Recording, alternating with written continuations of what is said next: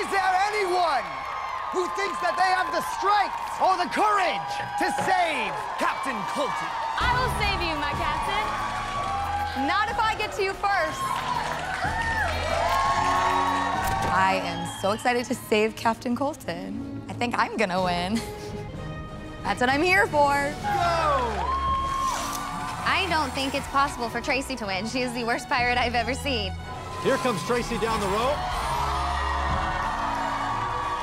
It feels good to be a pirate, a winning pirate, hopefully.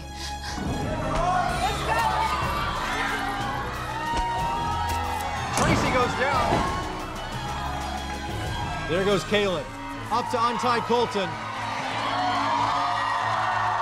Are you saving me? Oh, Caelynn saves Colton. You've got to be kidding me.